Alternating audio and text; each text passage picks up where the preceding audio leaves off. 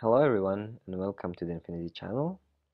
Uh, today we're going to see we can split a PDF uh, document into all its pages. Now I have another video here which shows you how to extract uh, one page at a time from a PDF file but let's say that my PDF file has uh, 16 pages and I want to uh, split all these 16 pages in, into PDF files of one page uh, each.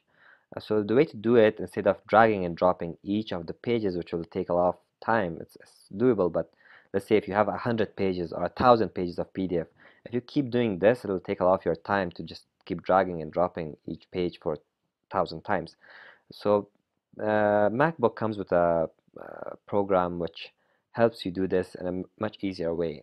For that, we will just have to open another program. It's called the Automator. You can find it in your MacBook and you can just search it in the Spotlight search. So here we go. We just open a new work file. We just chose it. So there are a lot of things you can do.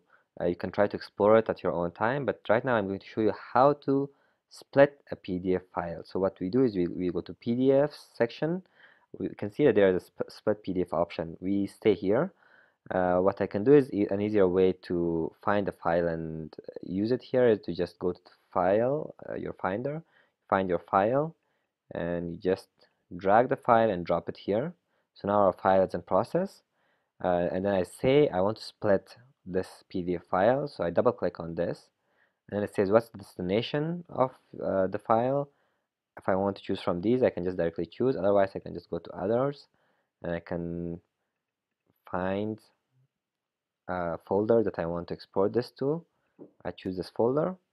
Or maybe mm, to uh, not make any uh, mess in that folder I will just actually create a new folder here I'll call it files split.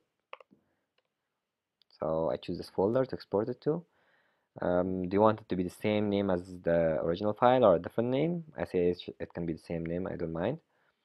So now we just run so the process has completed successfully. Let's see if the file has split the PDF we come to our folder that we want to check.